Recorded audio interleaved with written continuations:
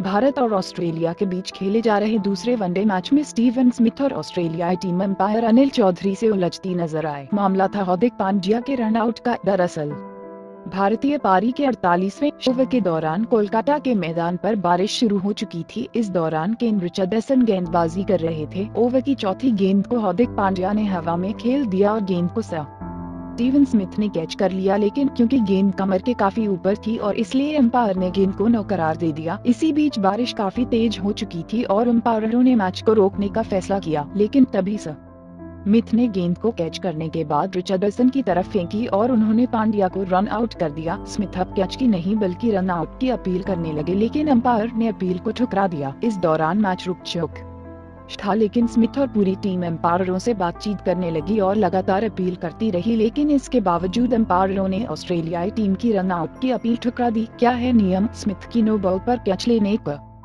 बाद पांड्या को run out करने की अपील करना क्रिकेट के नियम उनतीस दशमलव सात के हिसाब से बिल्कुल गलत थी, क्योंकि नियम यह है कि अगर आप नो बॉल पर कैच कर लेते हैं तो गेंद डेड हो जाती है और इसके बाद रन आउट नहीं माना। जा सकता। अगर कैच छूट जाता और इसके बाद टीम खिलाड़ी को रन आउट कर दे तो वो आउट होता। ऑस्ट्रेलिया खिलाड़ियों को इस नियम के बारे में पता नहीं था और इसलिए वो अंपायर अनिल चौधरी से उलझ पड़े।